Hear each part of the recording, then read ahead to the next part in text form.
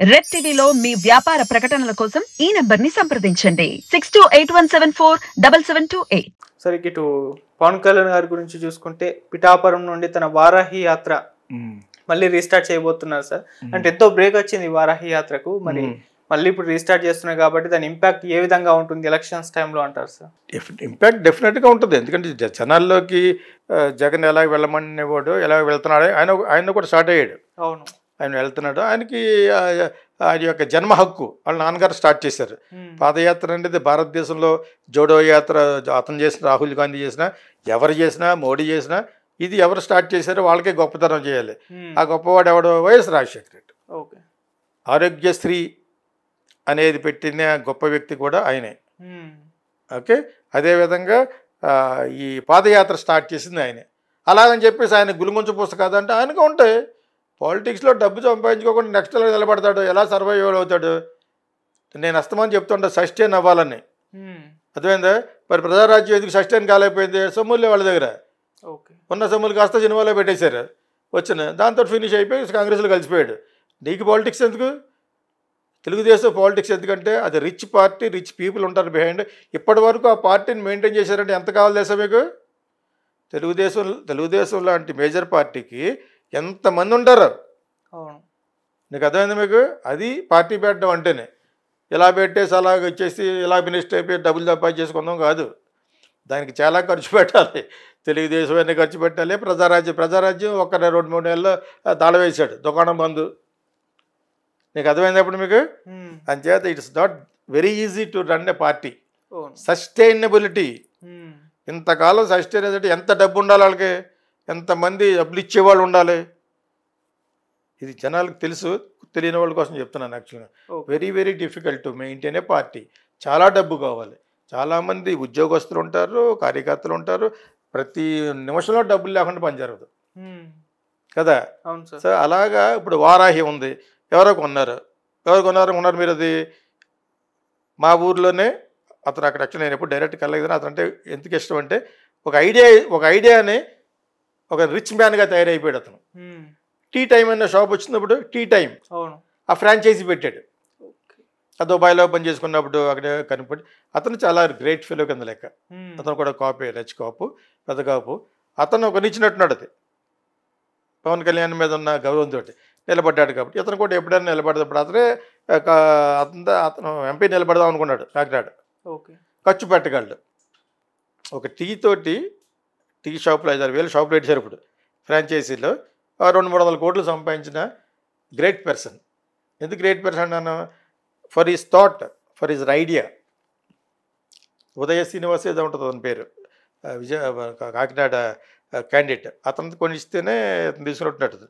వరాహి మళ్ళా వెళ్ళటం అనేది తప్పేం కాదు. మంచి మైలేజ్ వస్తుంది ఈసారి. ఇప్పుడైనా పవన్ కళ్యాణ్కి ఐఎమ్ గివింగ్ ఎ సజెషన్.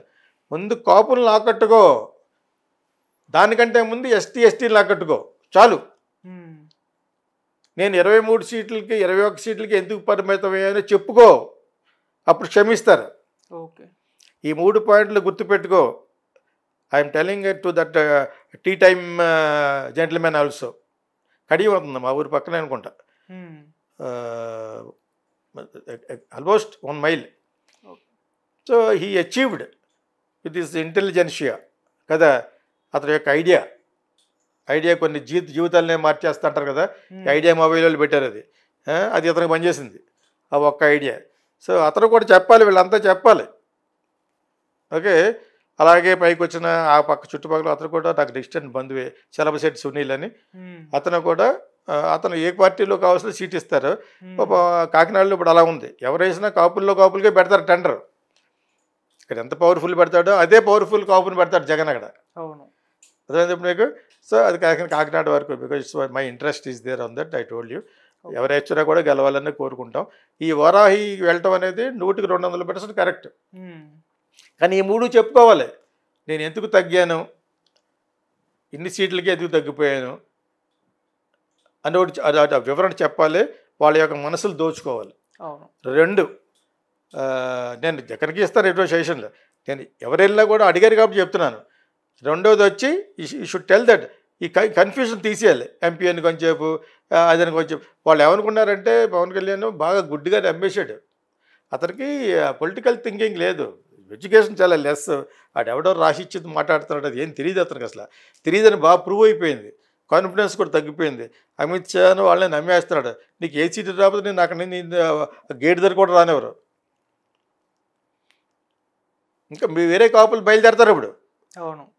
అర్థమైంది నీకు? అతను ఏమనుకున్నాడంటే ఇంకా చిరంజీవిని అతని తప్ప వేరే గతి లేదు కాపులు కానీ అని అనుకుంటున్నాడు. ఈ దెబ్బతో వదిలేస్తారు. మాలాంటి వాళ్ళు వదిలేయమని చెప్తాం.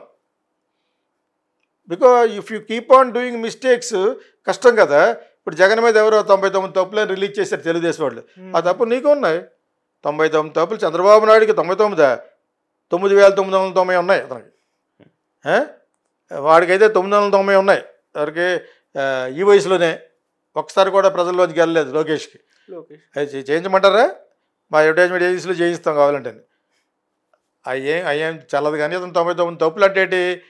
ఇంకో తప్పు శిశుపాలుడితో లెక్కేస్తారన్నమాట. మీరు శిశుపాలుడితో లెక్కేస్తారు అతను నేనే శ్రీకృష్ణునికి దగ్గర ఉండే అర్జునుడు అన్నాడు. అదేందా ప్రజలే కృష్ణుడు అని క్రిస్టియన్ అయినా కూడా అతను కూడా బాగానే చేస్తారంటే బాగానే మాడతారు. తప్పులు స్టేజ్ మీద వాళ్ళు మాడతారు వీళ్ళు మాడతారు. ఎక్కువ మాట్లాడేది ఎవరంటే పవన్ కళ్యాణ్. జ్ఞానం లేదు అతనికి. అవును. ఎవడో రాహిచ్చింది మాట్లాడుతున్నాడు. నిన్న మళ్ళీ పేలేడు అక్కడ. వంగా గీత మా దగ్గర నుంచి ప్రజారాజ్యం నుంచి వచ్చావు కదా. ఎవడో నువ్వు?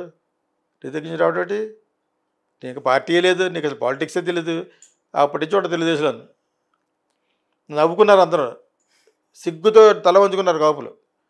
ఇటువంటివన్నీ చేసేయడం అక్కడికక్కడే వాడేసుకోవడం. అమ్మాయిని ఎవరో వడ్డీల అమ్మాయి ఎవరో ఒక అమ్మాయి ఉంది. రావిపాటి ఆ అమ్మాయికి ఏదో ఎవరు చేస్తే ఇప్పటివరకు యాక్షన్ తీసుకోలేదు. అతను వెళ్ళి చూసి రావాలి. ఆ అమ్మాయి ఎక్కడో బాగా మాడితే వాళ్ళే రికగ్నైజ్ చేసి ఇచ్చారు పాత్ర. మరి అటువంటి పాత్రలు మీ మీ పార్టీ వాళ్ళు ఎవరైనా కొడితే నువ్వు కనీసం ఒకసారి వెళ్ళవా? జాబినేటింగ్ టైప్ అయిపోయారు వాళ్ళు. సడన్గా యాక్టర్ అయిపోయి నాలుగైదు డబ్బులు వచ్చేసేటప్పటికి వాళ్ళకి ఇది లేదు. కల్చర్ ఉండాలి. యూ నీడ్ టు హ్యావ్ సంస్కారం. పెద్ద పెద్ద మాటలు అక్కడ మాట్లాడడం కదా. నా ఎదురుకుండా నా దగ్గరికి వచ్చేవాడు ఒకప్పుడు. నేను సజెషన్ ఇచ్చారు అంతే. ఒక ఒక రెండు సార్లు వచ్చినప్పుడు. Thirty three years thirty four years back. Okay మీలా కూర్చున్నవాడు భవ్యంగాను. అంతే. ఆ పరిస్థితితో అన్నా అనమాట ఓకే స్టార్ అయ్యాడు క్రౌడ్ పుల్ చేస్తున్నాడు. మంచి ఇమేజ్ ఉంది. అది నేనే హర్షిస్తాను ఒక సినిమా వాడిగా.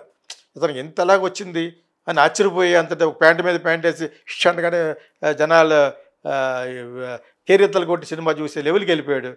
అది ఇక్కడ బాగా వాడుకోలేకపోయావు నువ్వు. వాడుకున్నావు. వీళ్ళకి వేరే గతి లేక నిన్ను మీద అన్నయ్య నమ్మారు. కాపులకి వేరే గతి లేక. కానీ దాన్ని మీరు ఒమ్ము చేస్తారు okay. You spoiled it. You. Destructed it. నా భాషలో చెప్పాలంటే you spoiled it with your less knowledge. నీకు పొలిటికల్ గేమ్ తెలీదు. ఓకే కంబవాళ్ళు కూడా వెళ్ళటం మంచిదే. చంద్రబాబు కూడా వెళ్ళావు. అతను నిన్ను వాడుకుంటున్నాడు? నువ్వు అతను వాడుకుంటున్నావు అనేది ఇప్పటివరకు క్లారిటీ లేదు. మిమ్మల్ని ఇద్దరిని కలిసి బీజేపీ వాడుకుంటుంది మన క్లారిటీ ఉంది మాకు. ఒక్కొక్క పర్సన్ లేదు. వాళ్ళకి ఆంధ్ర ఆంధ్రాకి చేసింది ఇంత కూడా లేదు. They did not do anything but they don't want to do అయినా జగన్ ఎందుకు వెళ్తాంటే కూడా వేరే గతి లేదు అతనికి. అతని కేసులు ఉన్నాయి. అర్థమైందా? అతను అతను బాగానే ఉన్నాడు. బాగున్నాడు మెయింటైన్ చేసుకుంటున్నాడు అన్నీ చేస్తున్నాడు అని కరెక్టే ఓకే. దీని మీద జేపీ ఏదో ఈ మధ్య వాళ్ళతో కలిశాడు. జయప్రకాష్ నారాయణ అని. ఇంకొక ఇంబ్యాలెన్స్డ్ పర్సన్ ఉన్నాడు. ఇంటెలిజెంట్ అనే అతని పేరు మీద మారు పేరున చాలా తెలివైనవాడు అని చెప్పేసి మళ్ళా కమ్మ బెల్ట్కి వెళ్ళిపోయాడు. అతనికి నూటికి నూరు రూపాయలు కమ్మ ఫీలింగ్ ఉందని ఎప్పుడు తెలిసిందంటే టీవీ నైన్ ఏళ్ళు వారధి అనే ప్రోగ్రాం ఉండేది. అర్ధరాత్రి కాడ యుఎస్ వాళ్ళకి ఉపయోగపడద్దని. వేరే దేశంలో ఉన్న వాళ్ళు టీవీ నైన్ చూస్తారని ఒక మంచి ప్రోగ్రాం పెట్టారు వారధి అని. అందులో ఒకటి ఇంటర్వ్యూలో వచ్చాడు ఒక రెడ్డి. ఎంతో కష్టపడి ఇతను చాలా బాగా నమ్మేసి ఈ పార్టీ లోక్సత్తా ఏదో ఉంది కదా పార్టీ ఈయనకి పార్టీ ఏదో జేపీ జయప్రకాష్కి. ఆ. పార్టీలో చేరితే ఇతను రెడ్డి అని ఫీలింగ్తో అతనికి ఇతని కంటే పేరు వచ్చేస్తుందని కట్ చేశాడట. అతను డైరెక్ట్గా చెప్పాడు అతను. టీవీ నైన్లో వెతుకుంటూ ఉంటుంది అతను ఇంటర్వ్యూ? అయినా అప్పుడప్పుడు ఏదో చెప్తూ ఉంటాడు సోది. ఓకే అది ఏదో పాపులారిటీగా ఉండాలని సోది వేస్తూ ఉంటాడు. I never believed him from the beginning మొన్నటి వరకు జగన్ పర్లేదు అన్నట్టు చెప్పి ఇప్పుడు సడన్గా ఇక ప్లేట్ ఫిరాయించాడు. అంటే ఇందులో బీజేపీ ఉంది అవి ఉన్నాయి అన్నీ ఉన్నాయి ప్లస్ ఏమో చంద్రబాబు నాయుడు.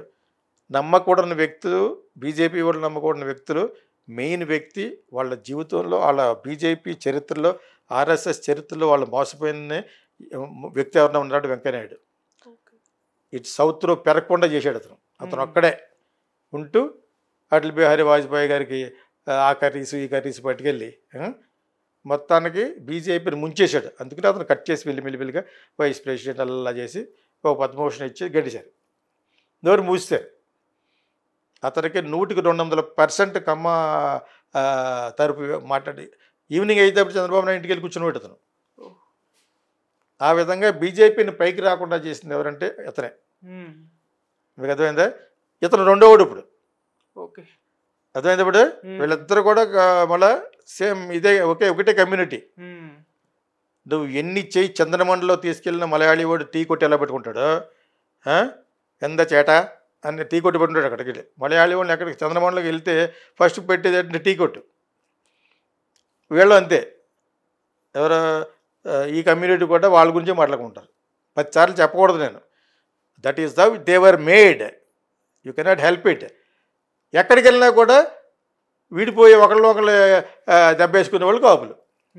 అది వాళ్ళ ఫేట్. వాళ్ళకి ఏదో శాపం ఉంది. ఓకే? ఎక్కడో ఏదో అరణ్యంలో తపస్సు చేసుకుంటున్న ఆ ఋషుల మీద వీళ్ళు ఏదో చేయకుండా అరాచకం చేసుంటారు వాడు ఎలా శపించుంటాడు ఈ కాపులంతా కలిసి ఉండకూడదని. అర్థమైనప్పుడు మీకు? ఉమ్. నైమిషారణ్యంలో తపస్సు చేసుకుంటున్న స్వాముల మీద ఎవడో వెళ్ళి ఉచ్చబోసుంటాడు. ఆడు కాపుడే ఉంటాడు? వాళ్ళ మీద వాళ్ళు శపించుంటారు అనమాట మీరు మీరు ఎప్పుడు కూడా ఎన్ని యుగాలు ఎత్తినా కూడా ఐక్యపత్యంగా ఉండలేరు అని. లేకపోతే లేకపోతే ఇది ఎంత పర్సెంటేజ్ ట్వంటీ సెవెన్ పర్సెంటేజ్ ఉన్న కాపులను పట్టుకుని నేను అన్ని క్యాస్టులు కలిగిపోతా అన్నప్పుడు అన్ని క్యాస్టులు కాదు. బీసీలు ఎస్టీలు వాళ్ళు ఎలా పెట్టుకుని నా క్యాస్ట్ను కూడా నేను కలిపిపోతాను వాళ్ళకి చెప్పాలి నువ్వు. పవన్ కళ్యాణ్ అసలు ఈ గొడవ ఉండేది కాదు. అవును. అది పొలిటికల్ అనాలిసిస్ అతనికి ఏముంది అతనికి అసలు అంటే అక్కడికి వెళ్ళి ఆడి పేరు అస్తమని చెప్పడం ఆడు ఒకటితోట మాట్లాడతాడు అనుకుంటా.